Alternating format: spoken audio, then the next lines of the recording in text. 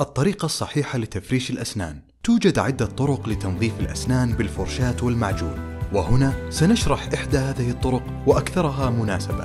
أولا وضع الفرشاة على الأسنان بزاوية 45 درجة بحيث تلامس شعيرات الفرشاة طرف اللثة والأسنان. تفريش كل سنين أو ثلاثة أسنان معا بشكل دائري ذهابا وإيابا من جهة اللثة إلى نهاية السن من جميع الجهات. تنظيف الأسنان الخلفية الأضراس بوضع الفرشاة بزاوية 45 درجة أيضا ذهابا وإيابا وبحركة دائرية على جميع الأسطح الداخلية. وعند تفريش أسطح المضغ قم بالضغط على الشعيرات وتحريك الفرشاة ذهابا وإيابا عدة مرات.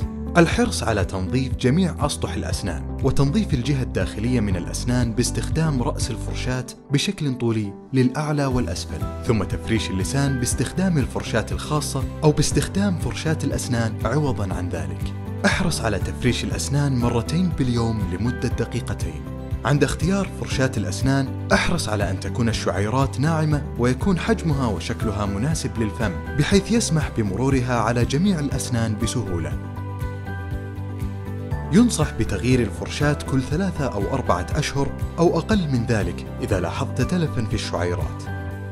عند اختيار معجون الأسنان يجب مراعاة التالي: أن يحتوي على الفلورايد، أن يكون مضادا لحساسية الأسنان إذا كانت الأسنان حساسة.